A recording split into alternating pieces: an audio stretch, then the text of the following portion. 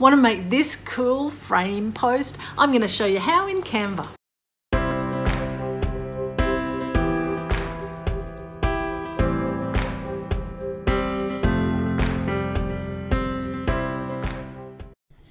Let's go into Canva and we're going to create an Instagram post.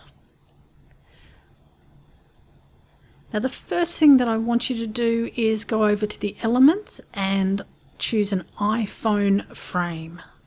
So type in iPhone frame and there's a couple of options. I've just chosen the first one. You drag it onto the screen and then I'm just going to duplicate it a couple of times and put it across my screen. Now, the next step is that I want to put the videos in. So we go to video, and I'm going to put in a Safari video. So typing in Safari, got a couple to choose from, uh, but I like the one down the bottom here that's an elephant moving across the screen. You want movement across your frames, so across your screen. So I drag that into the three different screens, and you have to position it right for it to appear in the screen, not in the background. Then I double click on each one and I'm going to drag each one up to be the same size. So I use the top and bottom of my Instagram post to, to make a standard size. And I also need to drag it across um, and put it in the same starting point. So if I had them all open at the same time, I want them to be the same size and on top of each other. So wherever you want that to be. So I'm going through and doing the three of them. And this means that um, I see the video and I see the different parts of the screen at the same time. So I've done that. Um, you may change where your frames sit and so on.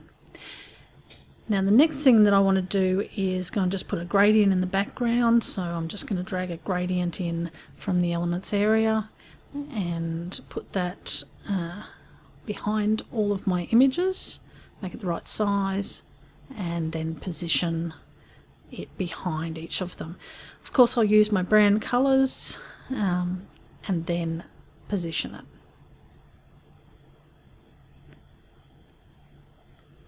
Now you might put in a logo or I'm going to put in a bit of text. I'm just going to use one of the um, presets and type in the name of my company, iPhone tours, and the tagline that I'm going to have for it, which is going to be uh, capture the moments. And then I'll make that a little bit bigger um, so it's visible. The next step is that I want to animate that text to come across. So I'm just going to use the animate, which you need Pro to do. And um, I'm just doing one of the basic options on that. I then go back to my videos and I need to go to the sound on each of the videos and I want need to on two of them I want to stop the sound. So I don't want um, the three times the video sound coming through.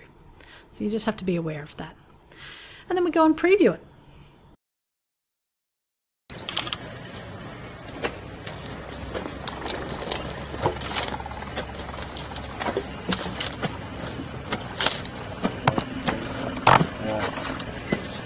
Uh.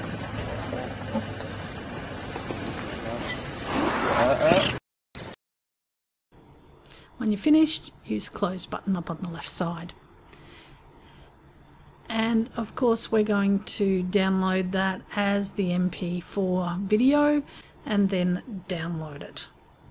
And you'll get the preparing your design. And that may take a little while because you've got three videos in there. Thanks for watching the video. Please like or share it and subscribe to make sure you get future tips.